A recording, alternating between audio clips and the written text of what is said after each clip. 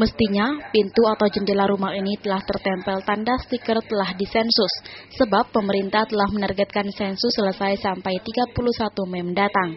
Namun tidak begitu dengan warga desa Paliat, Kecamatan Sapekan, Kabupaten Sumeneb. Sensus di desa tersebut mandek alias tersendat, padahal desa lain di kecamatan yang sama telah selesai disensus. Tersendatnya proses sensus penduduk di Desa Paliat, Kecamatan Sapekan adalah karena petugas yang telah ditunjuk tidak berjalan efektif ke semua rumah warga desa. Hal ini diperparah dengan tidak adanya kepala desa setempat dan telah lama tidak menjalankan tugasnya sebagai kepala desa, sehingga petugas sensus tidak ada yang mengarahkan. Kepala Desa Paliat sendiri telah berbulan-bulan berada di Sumeneb. Ketika warga menanyakan ada keperluan apa di Sumeneb, selalu jawab menunggu pencairan bantuan. Malah hasil penelusuran Madura Channel, Kepala Desa telah mengontrak rumah di kota Sumeneb. Camat Sapeken sendiri tidak memberi teguran kepada Kepala Desa Paliat yang sering membolos dan tidak menjalankan tugasnya sebagai pamong bagi rakyat. Dari Sumeneb, Hidayatur Rahman memberitakan.